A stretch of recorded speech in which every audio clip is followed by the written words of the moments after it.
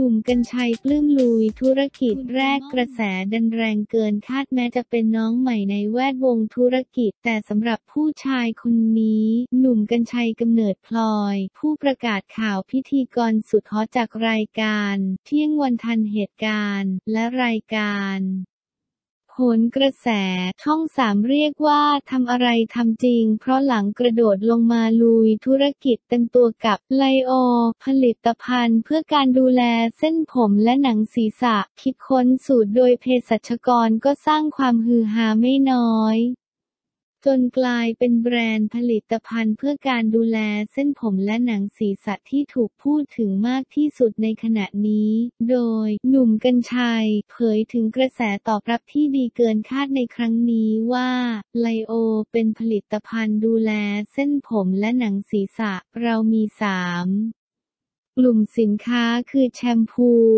conditioner และ hair tonic เรียกว่าผมทุ่มเทมากเราทำการตลาด 360 องศาทั้งออฟไลน์และออนไลน์ เพื่อให้เข้าถึงกลุ่มลูกค้าการทำการตลาดทางออฟไลน์ ไม่ว่าจะเป็น TV commercial หรือป้ายโฆษณาหรือบิลบอร์ด ต่างๆ เป็นเรื่องที่ยังจำเป็นเนื่องจากกลุ่มลูกค้าของเรายังอยู่ในกลุ่มที่เสพสื่อออกไลน์อยู่ และยังเป็นการเพิ่ม visibility ให้กับแบรนด์เป็นวงกว้างด้วย แต่ในขณะเดียวกันการทำการตลาดทางออนไลน์ก็ถือเป็นสิ่งสำคัญอันดับหนึ่งของเรา เนื่องจากช่องทางการขายสินค้าไลโอ คือช่องทางออนไลน์อย่างเดียว เราจึงมุ่งให้ความสำคัญอย่างมากกับกลยุทธ์การขายออนไลน์ ซึ่งการเพิ่มยอดขายทางออนไลน์ภายในระยะเวลาอันสั้น ไม่ใช่สิ่งที่ง่าย แต่ก็ไม่ใช่ว่าจะเป็นไปไม่ได้ เพราะหลังจากที่เราเปิดตัวมาได้ไม่นานกระแสตอบรับดีมาก จนเราถูกจับตามองว่าเป็นแบรนด์น้องใหม่ไฟแรง เป้าหมายคือเราจะขึ้นแท่นผลิตภัณฑ์บำรุงเส้นผมอันดับหนึ่งให้ได้ ซึ่งผมมองว่าทั้งหมดนี้คือความตั้งใจเมื่อผลิตภัณฑ์เราดีคนที่ใช้ก็บอกต่อกันเองจุดเด่นของไลโอ คือเป็นผลิตภัณฑ์ดูแลเส้นผมและหนังศีรษะ คิดค้นสูตรโดยเภสัชกรซึ่งจะแตกต่างจากแบรนด์อื่น ๆ เมื่อคนที่ได้ใช้ใช้แล้วบอกว่าผมเองก็หายเหนื่อยกับการทุ่มเทมาทั้งหมดสำหรับปีหน้าเป็นอีกปีที่ท้าทายและเชื่อว่าการแข่งขันในกลุ่มผลิตภัณฑ์เพื่อการดูแลเส้นผมและหนังศีรษะน่าจะดูเดือดแน่นอนครับ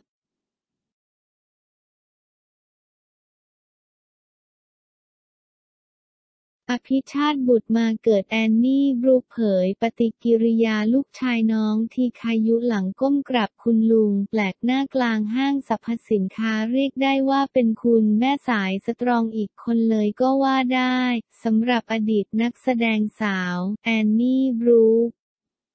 ที่ต้องเลี้ยงลูกชายหัวแก้วหัวแหวนอย่าง น้องทีคายุเพียงลำพังและต้องบอกเลยว่าถึงแม้ว่า สาวแอนนี่จะต้องเลี้ยงลูกเพียงลำพัง แต่เธอก็ยังสามารถทำได้เป็นอย่างดี และล่าสุด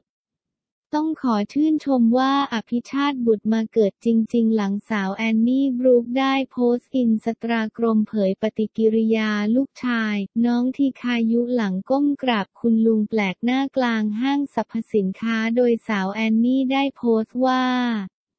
น้องไหว้ใครคะ รู้จักใครหรอ ล่าครับแล้วไหว้ใครคะ อยู่ดีๆน้องไหว้กลางห้างนี้ แม่เห็นคุณลุงคนนั้นไหมครับเห็นค่าเขาขายของไม่ได้เลย ผมเลยไหว้ขอพรให้ทุกคนในนี้ขายดีขายหมดครับ รู้สึกอบอุ่นหัวใจมากๆบอกไม่ถูก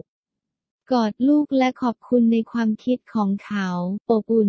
มากๆ ขอแม่เก็บภาพนี้อีกครั้งนะลูก เก็บไว้ในความอบอุ่นของหัวใจว่าเด็กอายุแค่นี้ มีความคิดแบบนี้คุ้มแล้วที่ได้เกิดมาเป็นแม่คน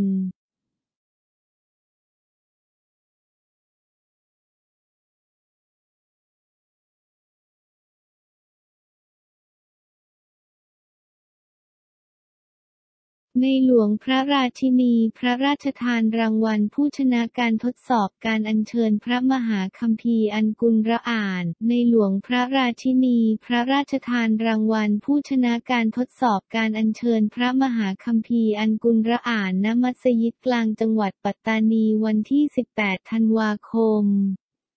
ระบาทสมเด็จพระเจ้าอยู่หัว และสมเด็จพระนางเจ้าสิริกิติ์พระบรมราชินีเสด็จพระราชดำเนินทรงเป็นประธานในการพระราชทานรางวัลแก่ผู้ชนะเลิศ รองชนะเลิศรางวัลชมเชยคณะกรรมการตัดสิน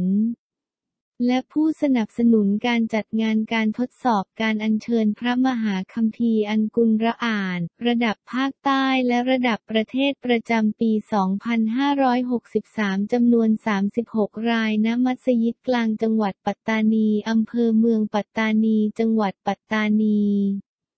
จากนั้นพระราชทานพระบรมราชวโรกาสให้ในประสานสีเจริญรองประธานผู้ทรงคุณวุฒิสำนักจุฬาราชมนตรี ผู้แทนจุฬาราชมนตรีขอดูอาและขอพรจากพระเจ้าพระบาทสมเด็จพระเจ้าอยู่หัว และสมเด็จพระนางเจ้าสิริกิติ์พระบรมราชินี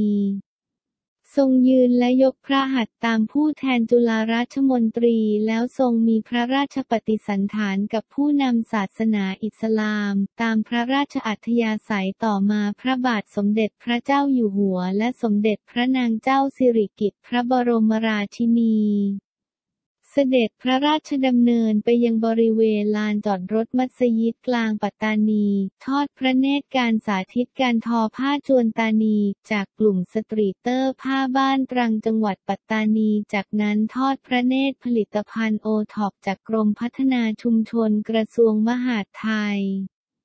และทรงเยี่ยมหน่วยแพทย์เคลื่อนที่ ที่ทรงพระกรุณาโปรดเกล้าโปรดกระหม่อมกองแพทย์หลวงร่วมกับกรมการแพทย์ทหารบกสาธารณสุขจังหวัดปัตตานีและโรงพยาบาลในพื้นที่ มาออกหน่วยตรวจรักษาโรคบริการทางการแพทย์แก่ประชาชน จากนั้นเสด็จพระราชดำเนินไปยังที่ทำการองค์การบริหารส่วนจังหวัดปัตตานี ในการพระราชทานโล่เกียรติคุณและเงินรางวัลแก่คณะกรรมการอิสลามประจำจังหวัดที่มีผลการปฏิบัติงานดีเด่น ประจำปี 2561 จำนวน 6 ราย และอิหม่ามที่มีผลการปฏิบัติงานดีเด่นจำนวน 25 รายและพระราชทานรางวัลแก่ผู้แทนโรงเรียน ผู้บริหารโรงเรียนครูและนักเรียนโรงเรียนเอกชนสอนศาสนาอิสลามภาคใต้จำนวน 29 รายต่อมาเสด็จทรงเยี่ยมราษฎรที่มาเฝ้า รับเสด็จพร้อมทรงมีพระราชปฏิสันฐานทรงขอบใจราษฎรที่มาเฝ้ารับเสด็จอย่างใกล้ชิดนำมาซึ่งความปรับลื้มปีติอย่างหาที่สุดมิได้